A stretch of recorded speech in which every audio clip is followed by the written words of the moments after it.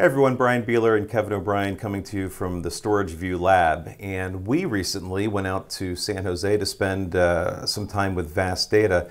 That was pretty cool to get out of the shop and go see people, humans Travel's again. always fun these days. It is fun. And part of their big launch was around a new data storage node called Ceres that leverages all sorts of new technologies, including BlueField, including uh, E1.L long rulers and storage class memory.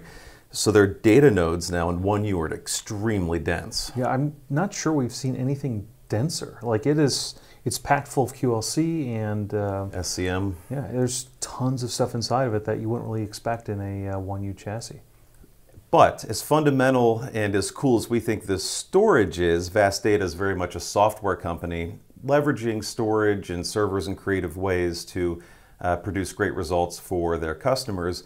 And as a big piece of that software is a GUI, which is another thing that we don't always see in high-end storage systems like this. Yeah, especially, I mean, you're looking at uh, CLI interfaces for a lot of the uh, competition, and uh, it's always fun when you can click things versus having to type in uh, stuff into like a bash or a PuTTY session. Well, especially for me, because I'm quite visual and also not technical when it comes to CLI, so I will just break it all. Uh, but to break it all down and to give us a walk through the Vast Data software GUI and, and maybe reset it for us a little bit in terms of architecture, we've got uh, storage nerd Howard Marks joining us today. Howard, how are you? I, I'm fine, Brian, but uh, you know I've always preferred geek to nerd. Uh, well, you know, this is my video, so you'll have to live with my choices today. Yes, sir. Welcome, and uh, you know, you guys came off that launch pretty hot, a lot of excitement. We did the pod with Jeff and talked uh, for well over an hour about architecture. So I'm, I'm hoping that you can distill that conversation into less than an hour so that we can get into the GUI. Oh, I, I can distill it down into a couple of minutes, but it, it's important that we go over it because one of the things I want to show you in the GUI is how you trace data flows.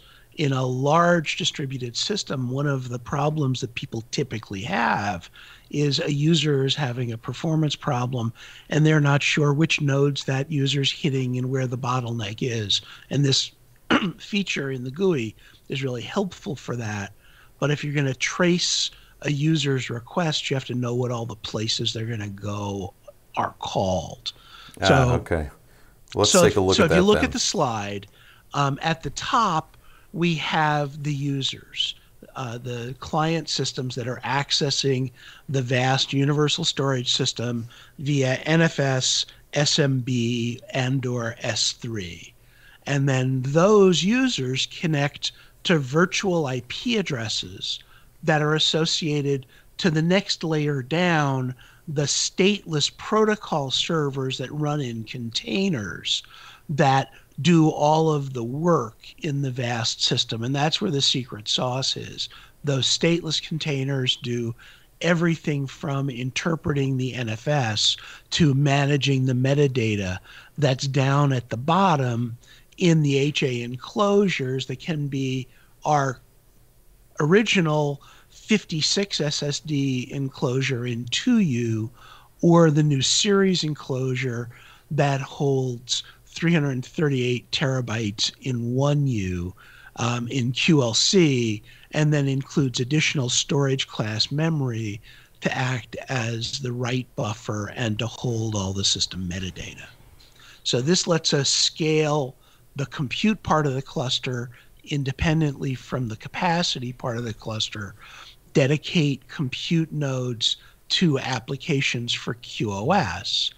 And because all the work happens in the front end containers, but all the state and data is stored in the enclosures, we can scale the system asymmetrically. So today, customers who have our existing enclo- 2U enclosures can add Ceres to those clusters. They can add the generation after that. It's all transparent. It's all one storage pool. There's nothing for them to manage about that asymmetric cluster, and that's really unusual at scale. Well, Howard, that's true for the compute nodes too, right? So you're on a platform now, but as new platforms come out, uh, new CPUs, new technologies there, you can take advantage of that as well, right? Yeah, the system just load balances and dedicates tasks to the CPU that's least busy. And so if they have different levels of ability, it's kind of like communism uh, from each according to their ability to the cluster according to how many threads they have free. Well, and that's I mean you, you say that in, in sort of as a uh, as a minor differentiator, but traditionally when we think about storage platforms, we see this all the time where the slowest node holds up everybody else, right? And and so this is fundamentally different and and therefore they make you build clusters of heterogeneous nodes. And when the new model comes out you have to do a forklift upgrade. And our system allocates yeah. according to what each node's ability is so that we can run these heterogeneous clusters and support the system for 10 years instead of the three to five. And then we really would like you to buy new hardware and rebuy your software. So we're going to make support expensive model. Mm-hmm. Okay, well, let's get into your software because that's one of the key differentiators, and I want to make sure that we, you know, take a look in, at that and, and show everyone what we're talking about when we talk about things like Vast Data has a GUI. So, what do we have to uh, look at there? Sure. Well, here you go. Here's the opening dashboard. It is a modern HTML5 GUI. Um, but the most important part is not that the GUI does everything, but that the GUI consumes the REST API. So everything that you can do in the GUI, you can do through the REST API.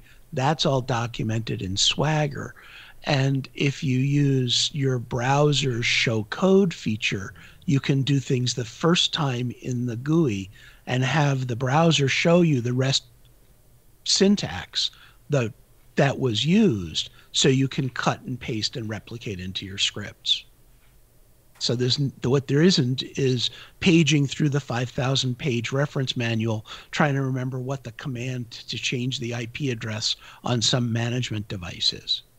Hmm, that's pretty useful you know, the opening dashboard shows you the things that you're likely to be interested in. How full is the system? How busy is it? And various counters to that effect. And then the health of all of the devices. So C nodes are those front end servers. D nodes are the NVMe routers within the enclosure. So there's two of them because they're HA. And then there's the SCM SSDs and the QLC SSDs. Um, the interesting part comes when we start looking at things like analytics, where we can very quickly see who are the users who are generating the most traffic, where are they accessing that traffic, where are they accessing that data from. And is this the first entry view into that route tracing you were talking about before? Um, well, that's a, a more common feature, top actors. Mm, that okay. tracing feature here is data flows. And so I can select this user, Howard F. Flow, and highlight that that user is running his tasks on the host 172.205.93 and that host is accessing the system through this virtual IP address and therefore through this C node and the little thermometers underneath even show how busy those various items are. And so I can hover over that node and see how many users, how many hosts, how busy it is, and quickly determine where the bottleneck is. And if I determine that this C node 3 2 is the bottleneck, then I can clear that isolation and say, show me everybody and all the flows that are hitting that in case I want to reload balance. So this is the kind of thing that in you know conventional parallel file systems takes days of log analysis. And not only can we do this in real time, but I can say, you know, show what it was like 10 minutes ago when the user actually issued that ticket. I can say, oh, so Ray is the guy who was complaining. Let me see. Well, let's clear everything. And then select Ray and say, what was the path Ray's requests were taking? Where's that bottleneck appear to be? Interesting. And so with your dynamic load balancing, uh, for lack of a better term, you know, what's the what's the uh, uh, clarity in this report? you talked about it being real time, uh, but as well, it's it's every ten seconds. Okay, so then if a node goes you know offline for maintenance or, or something, right? Then then you can see those workloads shift into the other uh, other workflows. Right, and since we do non-disruptive upgrades, um, nodes can go offline because we're performing an upgrade and the virtual IP addresses that node was serving will get assigned to other nodes. And that may have created 15 minutes ago a two minute situation where normally each of those front end servers has one virtual IP address in the pool. Um, we've rebalanced because one's offline and now one of the other ones has two. And so it has more load until the, that device comes back up. And if we saw something like that, we would tell the customer instead of having four front end processors and four virtual IP addresses, have four front end processors and 12 virtual IP addresses so that when things get reallocated, they're allocated in smaller slices. But even so, that front end processor that got two IP addresses and is serving more user traffic will be relieved of all of its work doing migration of the data from SCM to QLC and garbage collection and all of the back end maintenance that the system does because it's busy serving the users.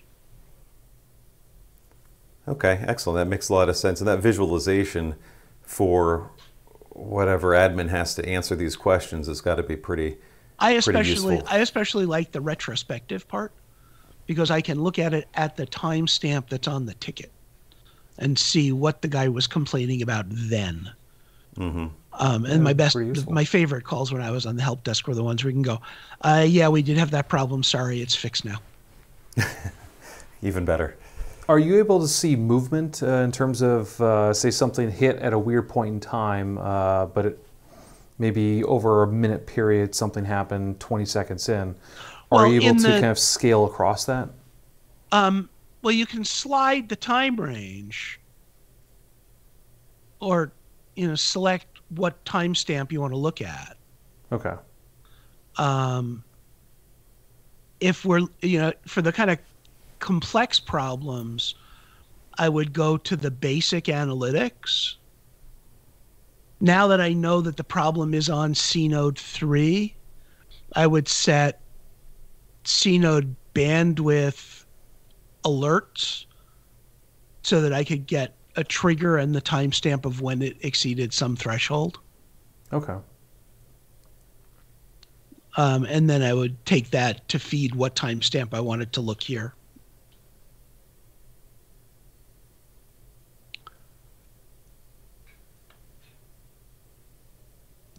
You know, the other uncommon function is capacity estimation. That, you know, normally if you want to see a chart like this that shows how big all of the folders in your file system are and lets you dive in and check how big the subfolders are and reports the data reduction. Okay, that data didn't reduce very much. Let's go pick something now, are these generated uh, in real time? How are these? Uh, how accurate are these? Uh, these are these period? are sampled, so they're estimates, but they are in real time. Okay. So this is being generated by metadata queries against the metadata base in real time. Um, and so here we can see that you know this data reduced 4.4 to one, wow. and it you know it's uh, data we generated by backing somebody up with Commvault and no, I don't know what the Commvault settings were.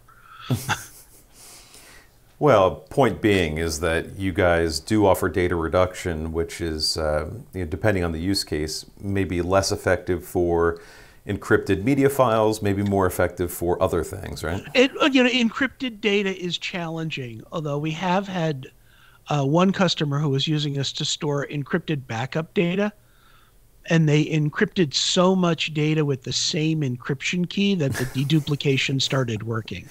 Uh, I wouldn't count on that, mm-hmm. uh, but we were starting to get 20% data reduction and wondering where it came from, and I had to go look into it. Um, but we do see substantial data reduction for things like from backup applications, uh, because while Commvault or Veeam or whoever the backup vendor is does data deduplication, it's generally limited in some way because a Commvault or a Veritas can't tell the customer. Um, you need 768 gigabytes of memory to hold the hash table so we can dedupe on small blocks. So you need a $40,000 server to run our software. And so they dedupe on big blocks so they don't need as much memory um, where we have all of that data in the SCM and it scales with the system. So we have one fine grained reduction realm for many petabytes. Well, that's a good visualization. Are you guys still seeing you know, the average uh, data reduction in that three to four range? Is that still common in, in your? Uh, so, so we have you know, in addition to this local set of analytics, um, some 85% of our customer systems report back to our centralized analytics platform. Um, and the last time I looked, that was a little over three to one data reduction across the entire fleet of installed systems. Um, and so, so there's some systems in places with encrypted data or pre compressed media files that see less than that. And that, of course, means that there are other customers that see substantially better. Sure. Okay. So, what else stands out to you in the, the, the GUI that's worth noting? Um,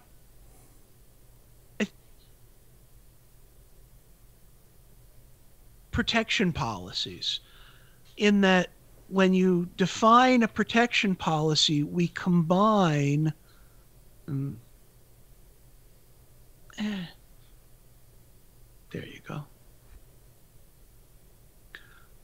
We combine the snapshots and replicated snapshots into one policy so that you can have um, so this system doesn't have unfortunately a replication partner defined but if i had replication set up between this cluster and another here where it says take a snapshot every one hour and retain a local copy for four hours, there'd be another column where it would say and retain a replicated copy for 16 hours. And so I can manage both the local and replicated copies from a single policy.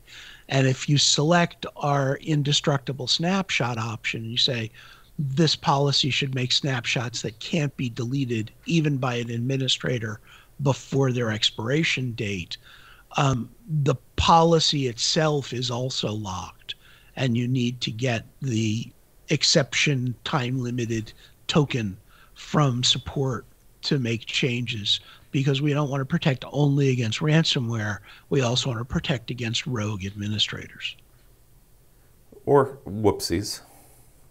Administrators. Um, yes. Excuse me. Rogue or um, clumsy. Be careful clumsy. Okay. I'll, I'll stick to Good. clumsy. Good. It happens. Yes, we we've all made mistakes. And in my consulting days, I used to say that I'd never want to hire a storage administrator who hasn't made a big enough mistake that he thinks he's not just lost his job, but put his employer out of business. because once okay. you have felt that fear, you're much more careful. There you go you learn get burned once and, and not again. Yeah. but now the guy who's done it three times, you don't want to hire him either. Right. That could just be incompetence. You want the guy who did it once and never again. So what else as we think about what you guys are doing at Vast Data is is maybe different here or in terms of administration than a typical storage cluster would be?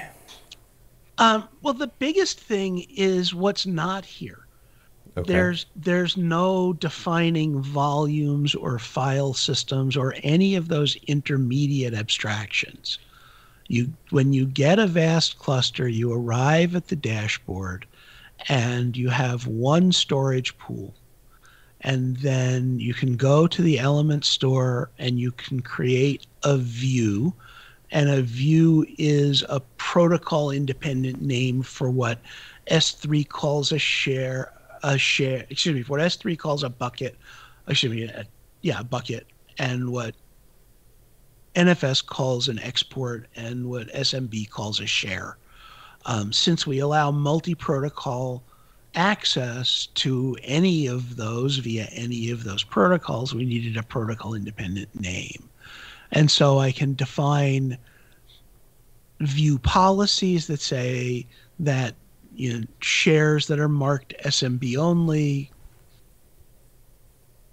are only accessible via SMB and they're only to, available to users via Active Directory, and that all of the uh, SMB name restrictions are enforced. So it's um, case knowledgeable but insensitive, the way SMB is. And then I can create a view and therefore create the folder that holds that view and users can access the system. And that's it's really as simple as that. I don't need to decide what the protection level is. We only have one protection level. It's higher than everybody else's protection level. A vast system can suffer four drive failures simultaneously before losing data. And because all of the front end processors work in parallel to rebuild whenever there's an SSD failure, the simultaneous is a very small window before we rebuild the first failure. So you don't have to decide, I need this protection level for this data and that protection level for that data. You get the highest protection level and you get 2.7% overhead for that protection level. So you're not picking, well, I want less because 2.7 is too much to pay. 2.7 is a very low degree of overhead, high protection, low overhead. Why do you need choice? You don't have to create multiple volumes. You don't have to create meta objects to create independent file systems. It's one namespace. You create views. Users connect to those views via their, via their selected protocol and they access their data. It's That's simple. Really easy. You, yeah. The, the so, main thing you don't need to do is install clients that have to match the kernel version of all of your servers. It's NFS. It's standard protocol. It just works. So you talked about failures. I presume then somewhere in here you've got a view of the systems in this cluster and you know some SSD. Yeah, so I can look at clusters and then I can within the cluster look at the hardware so a CBOX is the four server enclosure a four server appliance that holds four of the front end servers C nodes are those individual front end servers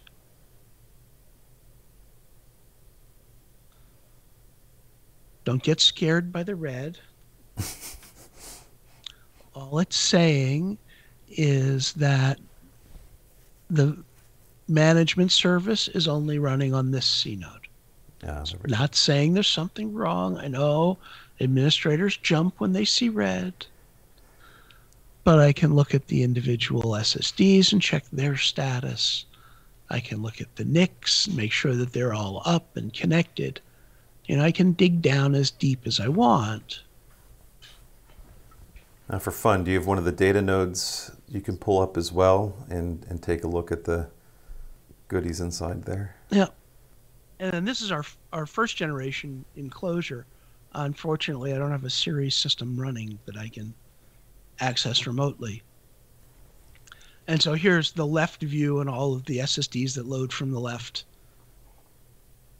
and the back view of the 2D nodes and all of the network cards.